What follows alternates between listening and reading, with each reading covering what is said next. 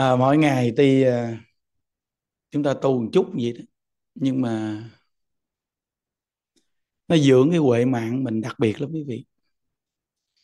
Và mỗi ngày khi tu xong à, những đức nói chuyện một chút vậy đó. nhưng mà nó gầy dựng cái tính tâm cho mình rất là cao. Những đức à, thấy à, trong thời điểm này là thời điểm mà chúng ta cùng tu chung nhiều nhất và có thể gây dựng tính nguyện niệm Phật mạnh nhất. Nên có câu rất là hay. Thà có thể bỏ gương mặt chứ tuyệt đối không bỏ huệ mạng. Câu này quan trọng quý vị. Nhớ nghe. Thà bỏ gương mặt không bỏ huệ mạng. Nhiều người à, họ vì cái ngã họ lớn quá họ bỏ Phật pháp khi họ phạm những điều sai lầm. Tại vì sinh mạng chỉ có mấy mươi năm ngắn ngủi, nhưng huệ mạng thì đời đời kiếp kiếp. Thí dụ như đại lão hòa thượng tịnh không ngày giảng ngày nói về thái tử a xà thế. Tạo tội nặng nhất gọi là ngũ nghịch trọng tội. Thái tử a xà thế đã phạm ngũ nghịch trọng tội, giết cha, bắt mẹ nhốt vào lãnh cung phá hoại hợp tăng.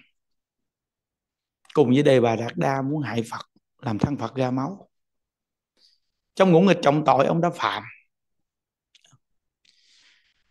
Như vậy mà cuối cùng ông vẫn nghe đức phật giảng dạy về pháp môn niệm phật.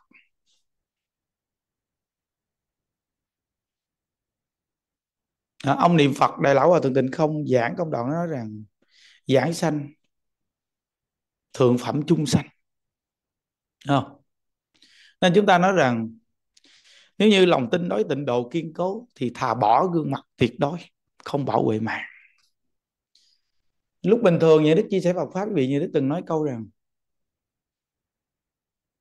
gương mặt như đức giống như mặt chai mài đá. Lúc bình thường ấy vậy chưa có gì như đức đã chia sẻ với vị nghe rõ ràng mà giống như, dù như thế nào cũng mặc như đức đưa ra mặt chai mày đá. Không cần mắc cỡ ngại ngùng gì hết. Là đưa cái mặt chai ra, khuyên người niệm phật. Giống như muốn làm thầy của thiên hạ. Không có chút gì ngượng ngạo. Làm điều sai gì cũng không chút gì ngượng ngạo. Tiếp tục khuyên ta niệm phật. Dù người thích hay không thích, nghe hay không nghe. Nhưng đức dẫn đưa cái mặt chai ra, khuyên người khác niệm phật và bản thân như đức dẫn niệm phật. Ví dụ như có những người người ta có thể nói câu nói rằng, ông mà niệm phật giảng sanh gì nữa? Đúng không? Nhưng mà những đức nói, kệ tôi. Tôi cứ tiếp tục niệm phật. Phải không? Nên quý vị biết rằng là con người có thể mất tất cả, nhưng một phương hướng, mục tiêu và chí khí con người, tuyệt đối không mất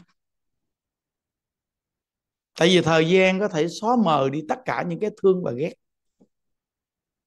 Rồi chúng ta vẫn tiếp tục đứng sừng sững như một cây cổ thụ bình thường. Không có gì có người thiện và ác, đó là lẽ tất nhiên. Nên chúng ta nói rằng tin nhân quả. Nên qua những công đoạn học tập này, đây là bài học mà rất đáng giá cho tất cả những mặt trái khi lỡ phạm phải những điều sai lầm tuyệt đối không bỏ đạo.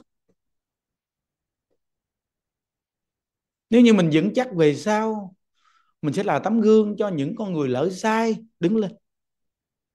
Nếu như người nào làm sai cũng đều nằm vẹp và không có một ý chí gì thì dùng dãy đứng lên, thì về sau tất cả những người làm sai đều bị vứt bỏ không bao giờ đứng lên được. Nên những đức nói với vị nghe một cái cây nó đứng sừng sững trong bão tố. Quý vị hỏi vì sao nó có sức mạnh như vậy? Nó nói rằng, vì nó chịu trong bão tố thời gian rất dài. Nên bây giờ gặp bão tố nó mới sừng sững được. Một cái cây kia mỗi ngày chúng ta thấy nó rất là đẹp. Nhưng chỉ cần giông gió một chút thôi, chưa đến nỗi có bão, thì nó ngã. Mình hỏi nó vì sao mà dễ ngã như vậy? Tao thấy mày rất mạnh mẽ và rất cứng cỏi, rất đẹp, rất chắc chắn tại sao mới có gió thổi, tao mày đã ngã rồi? Nó nói rằng, vì nó chưa từng gặp bão tố.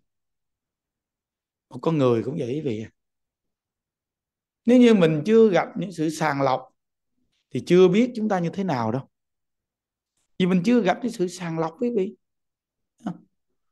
Nên từ nơi đó mà những đức đi tu đã trải qua, thịnh si trải qua hết luôn. Tiếp tục những đức giảng là như thế nào? Khuyến quý vị niệm phật. Chứ hoàn cảnh nào những đức cũng khuyến vị niệm phật và tu cùng với quý vị.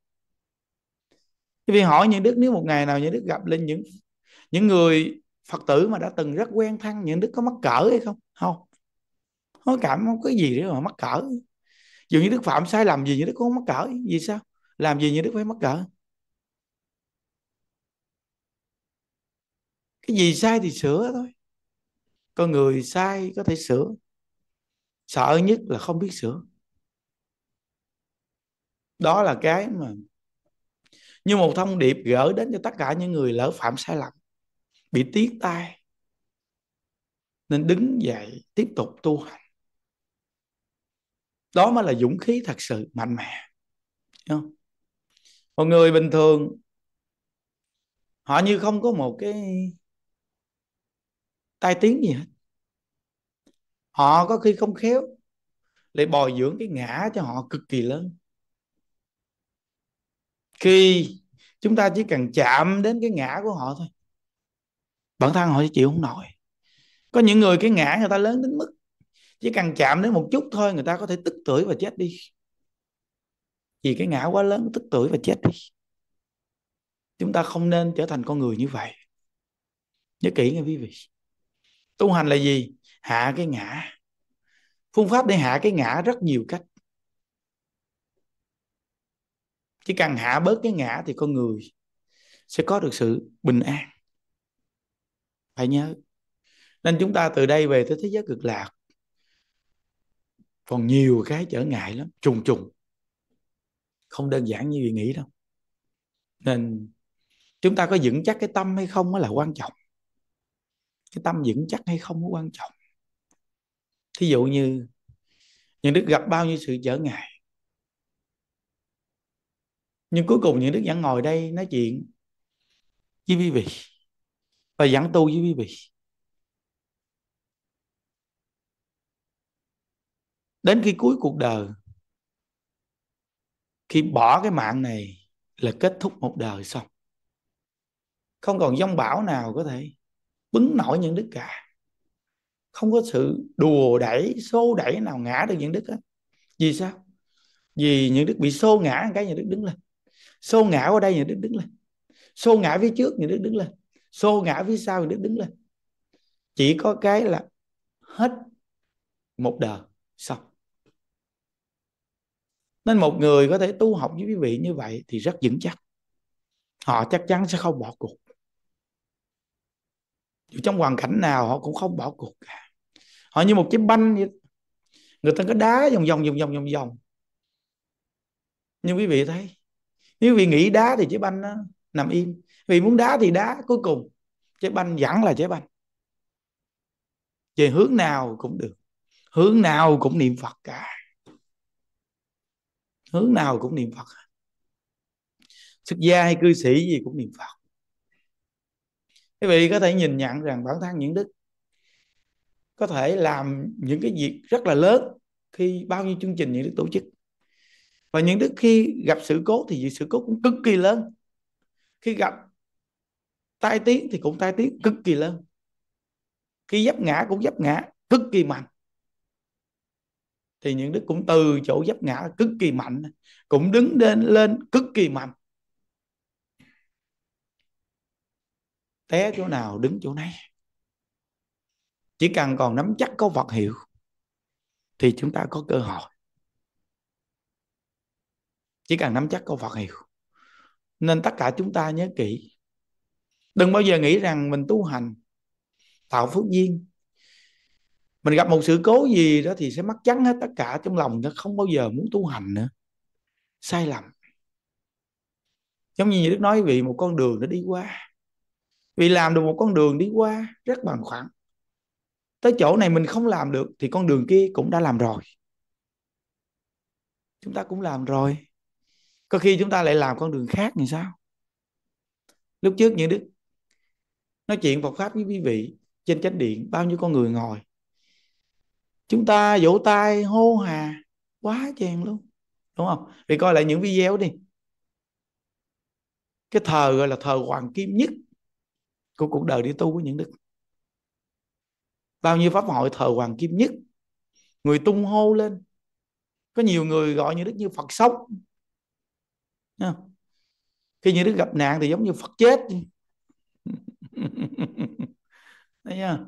Nó chị thấy rõ ràng không? Nó phải là vô thường không? Nó không lẽ bây giờ chúng ta nghĩ về những việc đó, chúng ta cảm thấy nuối tiếc? Và bản thân cảm thấy mình mình bị sốc quý vị. Chịu không nổi mặt mũi không có gặp ai được nữa không có chuyện đó đâu. Đối với người thành đạt vì sao? Không có bao giờ có cái tính đấy thì coi lịch sử đi. Tất cả những người thành đạt đều là đa phần. Họ sẽ nhẫn nại trong chốn trần lao. Cái pháp thế gian người ta muốn thành tựu sự nghiệp thế gian thôi. Mà người ta còn dám giả điên ăn phân được, chui qua hát người khác. Vứt cái mặt mình qua một bên về sau thành công, vẫn là thành công. Bạn thất bại thì vẫn là thất bại. Cái quan trọng của bạn hướng đến mục tiêu nào mới là quan trọng. Nên cả đời những đức tuyệt đối không bao giờ bỏ Phật pháp. Một trăm phần trăm quý vị. Vì con Phật pháp là còn tất cả.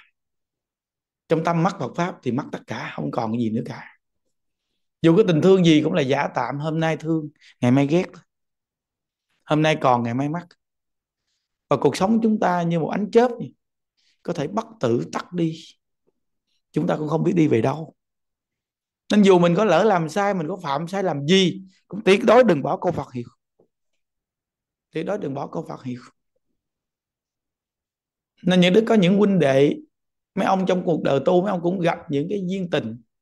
Cuối cùng mấy ông mắc tích luôn, nghỉ tu luôn. Bỏ tu luôn đó quý vị. Bỏ tu. Thành một người ngoài đời và bỏ tu luôn cuộc đời những đức. Tuyệt đối nói mạnh dạng với vị nghe một câu, không bao giờ những đi vào con đường đó. Tuyệt đối. Nên những đức nói, dù cho dông bão cỡ nào, bản thân vẫn là quyết chí niệm phật cho tới cùng. Vì sao? Vì cuộc đời con người chỉ mấy mươi năm ngắn ngủi thôi, quý vị nên à, nhiều con người mình, khi lúc trước quý vị nghe những đức, chia sẻ Phật pháp như đức cũng nói quý vị đừng ngưỡng mộ một người nào cho họ quá tròn vẹn. Quý vị sẽ thất vọng vì họ rất là cao trong cuộc đời này. Vì cuộc đời này có thịnh tức khắc có si, có tiếng tức khắc có tai. Hiểu chưa? Tai tiếng tiếng tai nằm kế bên. Quý vị bây giờ, quý vị không có tiếng tâm gì hết. Thì quý vị có phạm cái gì cũng không ai nói tới làm gì? Không? một con người có tiếng tâm thì chỉ cần một cái lời nói của họ thôi, nó cũng trở thành chuyện lớn lao, chứ không phải chuyện giỡn đâu. Họ nói lỡ lộ một câu thôi, đùa một câu thôi là trở thành cái việc lớn chứ không phải việc nhỏ. Đó. thí dụ như quý vị không có tiếng tâm gì hết, quý vị chữ thầy với người ta một tiếng thôi, không sao đâu. Nhưng bây giờ quý vị nói những đức chỉ cần chữ thầy một tiếng thôi, thì cái câu này nó trở thành một câu mà gọi là cộng đồng đưa lên, chứ không phải chuyện gì hết đó. Nên từ nơi đó có tiếng thì có tai. Việc này là chắc chắn như vậy. Nên mình học tập với một con người đó là vững chắc cái gì? Vững chắc cái họ khi gặp sự cố, họ có vững chắc hay không? Mới là quan trọng. Vì con người, chúng ta không thể nào bảo đảm rằng sống trong cuộc đời này mình không gặp sự cố. Không ai mà dám bảo đảm được điều này. Quý vị thấy có những con căn nhà cực kỳ kiên cố luôn mà ai biết được căn nhà đó lại sụp đổ. Không ai ngờ được căn nhà đó lại sụp đổ luôn. Có thể kỹ sư người ta bảo đảm căn nhà này sẽ bao nhiêu trăm năm sẽ không bao giờ có sự cố sụp đổ. Nhưng người tính không bằng chờ tính. Chờ tính không bằng phật tính. Quý vị biết rằng một con người hình thành cái cái đạo thế gian, cái việc làm thế gian vì người. Họ chỉ cần gặp nạn gì, họ chỉ cần kiên định tâm thì ông chờ thấy họ. Giống như đức từng nói rằng ông chờ muốn giao phó cho người một việc gì đó, phải làm cho con người này khổ. Đó là việc thế gian, ông chờ sẽ thấy. Bởi vì làm việc trong Phật pháp, quý vị gặp sự cố gì vẫn kiên định tâm thì Phật thấy. Không phải là chờ thấy mà là phật thấy. Phật thấy con người vì có tâm quyết cỡ nào, phật sẽ thấy. Nên từ nơi đó, thời gian của con người từ từ sẽ qua hết thôi. Sự kiên định của con người là cái cực kỳ quan trọng mà kiên định ngay chỗ nào? Câu Phật hiểu chúng ta tu tịnh độ.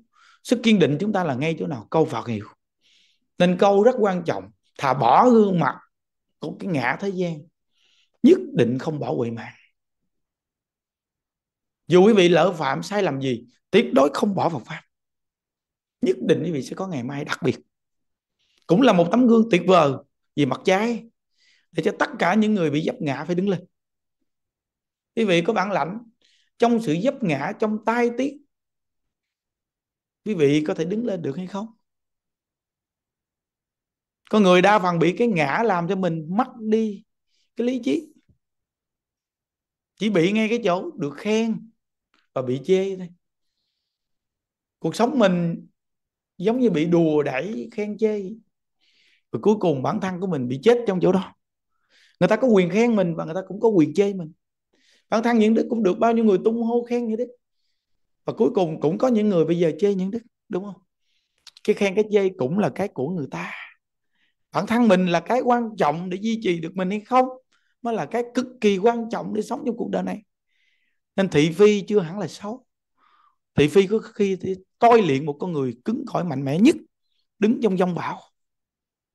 Thị phi chưa hẳn là xấu. Chắc chắn nếu như quý vị kiên định được, thì tương lai bị độ luôn tất cả thị phi. Thị phi nhiều hơn là cái không thị phi. Nên thị phi càng nhiều thì độ sanh về sau càng nhiều. Tại vì sao? Vì tất cả những cái thị phi đó về sau, họ sẽ nhìn ra được. Nên cái quan trọng là chúng ta có duy trì được cái tâm hay không? Nên lời mà những đức gỡ đến tất cả những người lỡ phạm lỡ phạm phải sai lầm trên con đường tu dấp ngã trên con đường tu, tuyệt đối đừng nằm vẹp chỗ đó. Đứng lên. Tiếp tục mà tu tập, tiếp tục mà niệm phật. Tuyệt đối không được nằm vẹp. Dù ở trong hoàn cảnh nào cũng tiếp tục mà tu tập. Tuyệt đối không nằm vẹp. Vì thọ mạng con người chỉ mấy mươi năm ngắn ngủi. Huệ mạng của con người mới cực kỳ quan trọng, đời đời kiếp kiếp. Còn chúng ta trong cuộc đời này thiện và ác đều tính vào nhân quả gặp nhau trong cuộc đời không có duyên thì không gặp nhau đấy quý vị. Hiểu không? Không có duyên thì không gặp nhau đâu. Duyên thì có thuận có nghịch. Tình duyên thương yêu thì cũng là, không khéo cũng là nghịch. Không khéo cũng là thuận. Khéo cũng là thuận, mà không khéo cũng là nghịch. Nên bản thân mỗi người phải duy trì được cái tâm niệm Phật là cái quan trọng nhất. Tuy đoạn này nói chuyện một chút nhưng mà rất quan trọng. Nhớ nghe quý vị, tuyệt đối không bỏ câu Phật hiệu. Quyết chí niệm Phật cả đời, không thối tâm khi bỏ báo thân này, chúng ta đều hẹn gặp ở thế giới cực lạc. Chúc quý vị an lạc. A di đà phật. A di đà phật. A di đà phật. A di đà phật.